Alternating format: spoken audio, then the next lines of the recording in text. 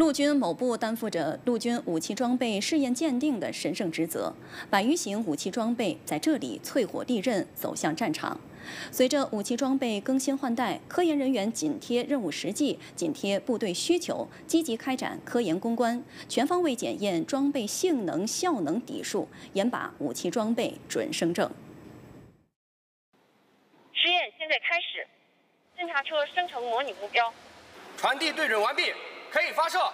三、二、一，发射。某型导弹武器系统试验正在紧张进行。通过模拟实弹飞行效果，不仅可以提升试验效率、扩大试验样本量、降低试验消耗，更可实现复杂天候及烟火、光电磁等复杂战场环境下的极限边界考核。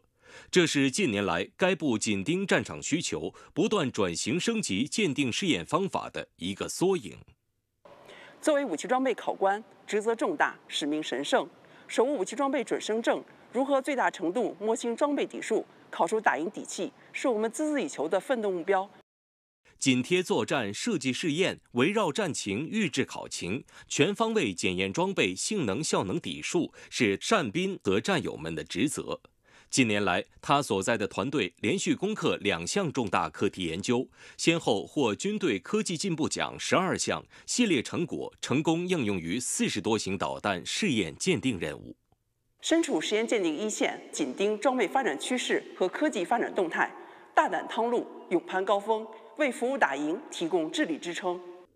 作为我国第一座自主设计建造的综合性常规兵器试验靶场，老一辈靶场人在黄河滩上风餐露宿，在沼泽地里白手起家，用一往无前的艰苦奋斗，留下了献身国防的动人故事。回望过去，把握现在，官兵们深受触动，立志在岗位上忠诚履职，接续奋斗。一代代靶场人通过艰苦创业、聚力创优、锐意创新。形成了宝贵的三创精神，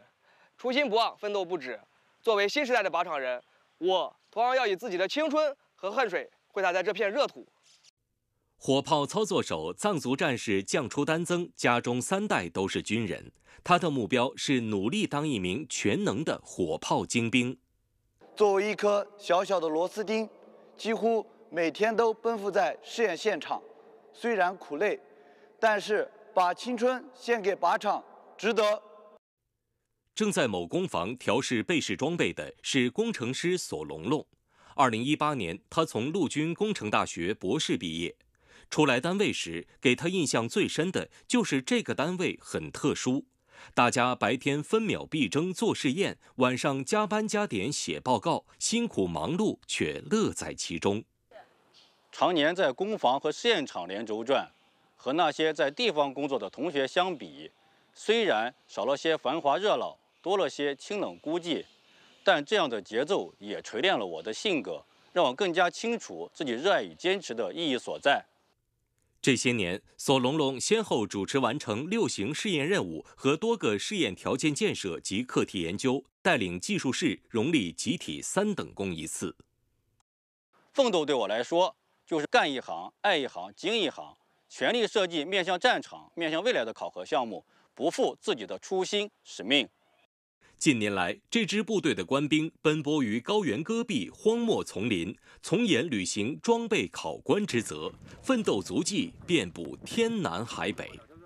作为陆军武器装备实验鉴定专设机构，